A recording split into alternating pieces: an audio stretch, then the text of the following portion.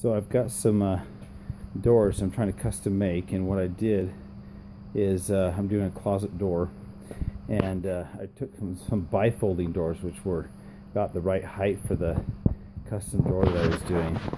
And as you can see here I trimmed off measured the size it's pretty much even there and there.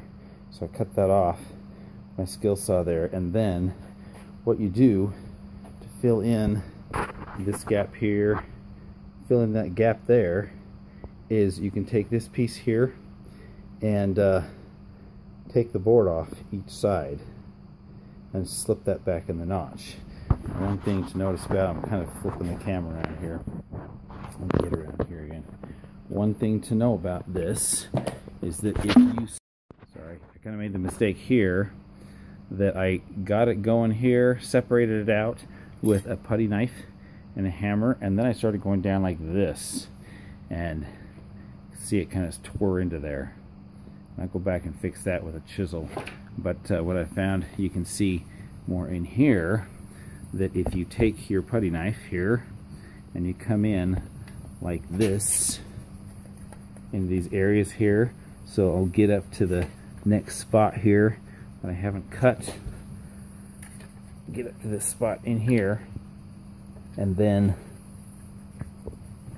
take your chisel. I'm going to have to just show it a little bit before I do it because I don't have anything else to hold the camera. But So get that in the groove in there. Get it worked down in there. Tap this. That will push that down in here straight. Work it down. And then that'll work it all the way down there. And it pulls it off evenly. And then you can take this board down the middle. You can stick it back, glue it back in there in the channel. And uh, then of course here is where the knob was. That's where the doorknob will go. And uh, there, you got a customized door out of a hollow panel door like that. And uh, anyway, just thought uh, somebody that might help somebody out there. I've known a couple people that are wondering how to make custom doors from existing doors where you can just cut down the size a little bit like that and like how do you rebuild that and um, I'd done this earlier and I just wanted to show people how to do that. You just fit that in the in the groove there. Um, this piece here comes out the edge a little bit there and so this that there coming up there so I'm gonna have to cut off the end so that it will fit in that groove but that will fit from there all the way down there and then this area over here I believe is already reinforced for the handle and so that'll be reinforced. If not I could reinforce it stick another piece of board in there reinforce it for the doorknob and build that out so anyway just thought that might be helpful to somebody so so when I clean this up here, where it was tapered off, um, by the way, don't get one of those. I didn't even try that. I think I mentioned that earlier to use a chisel. But when you're cleaning this up, just get a handy hand lathe there and you just kind of, you know, really easily run along there, cleaned it up, everything's really smooth.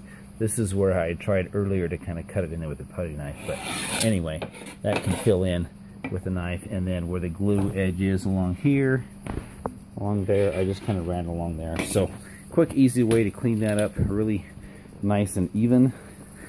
There I've got the entire piece off. Coming down here, this is the board. So taking this entire piece off now, I'm going to come back up, take this block off, and take that piece off. And of course, like I said, it'll fit in there, in the in the side here. So just another good tip. Just so you believe that it, this is possible, I have uh, separated all the sides out, trimmed off a little bit, measured that, put it in the groove there, and uh, got a little putty knife there to help snug it in, and we'll push that in there, I'll get some glue, put along the edge there on both sides, and we will, uh, I can lift it up, putting screwdrivers or things in there to kind of get the glue in there, but uh, anyway, this will be a better view. Um, I know I'm kind of should be holding that way, but there is another view there. But you slide that joint right in there, and glue it, let it dry, and then you can just cut your door handle knob and some uh, some slots there for your your hinges and custom made door. Anyway, cool thank you